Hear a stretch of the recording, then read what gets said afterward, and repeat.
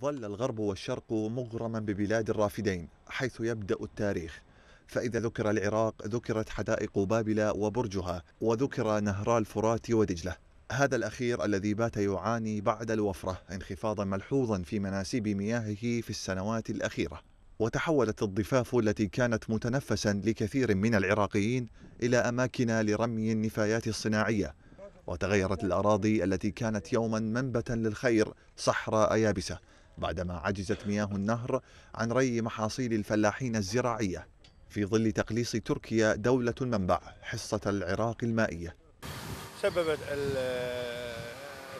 تلف عشرات الآلاف من الكيلومترات من من الزراعة الأراضي الزراعية وكذلك وكذلك هلك عدد كبير من الماشية في هذه المناطق.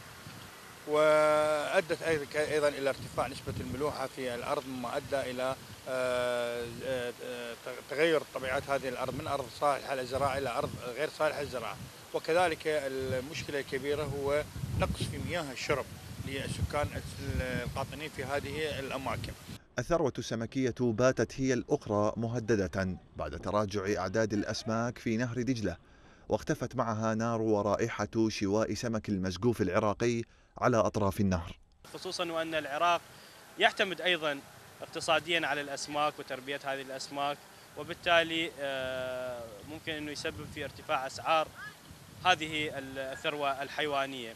أما عن رؤيتهم للحلول فيرى قاطنو بغداد أن على الحكومة بناء سدود جديدة لاستغلال مياه نهري دجلة والفرات التي تذهب هباء في البحر دون الاستفادة منها في الزراعة.